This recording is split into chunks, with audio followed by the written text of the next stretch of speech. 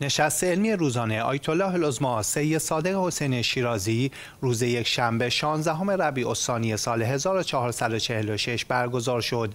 در این نشست همچون جلسات پیشین ایشان به سالهای حاضران در جلسه پیرامون مسائل مختلف فقهی پاسخ دادند.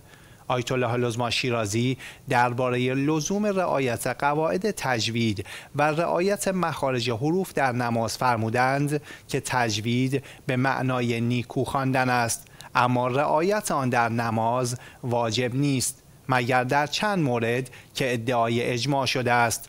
معظم الله از جمله به مد در ولزالین و قاعده یرملون اشاره و در ادامه فرمودند که در این موارد اجماع نقش شده و در صورت پذیرش اجماع رعایت این موارد واجب است اما در سایر موارد رعایت تجوید واجب نیست.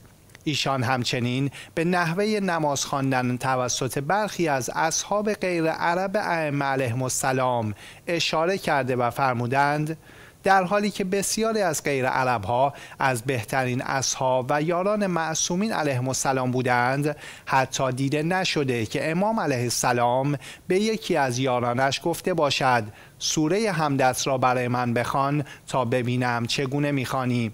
آیت الله العظما شیرازی همچنین تاکید فرمودند تلفظ کامل حروف عربی و مخارج آن در نماز تا زمانی که منجر به تغییر معنا نشود واجب نیست.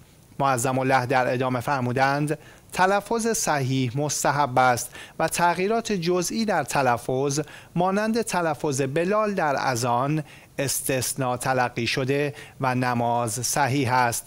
با هم فرمایشات آیت الله العظما شیرازی را ببینیم و بشنویم.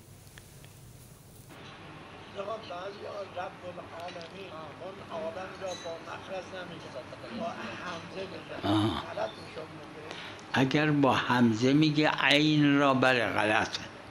اما گاهی وقتا عین را خفیف میگه. همزه نی.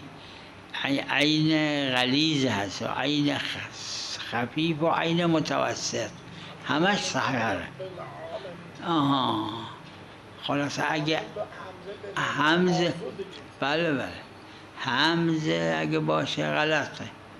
اما اگر عین خفیفه اشکال نداره.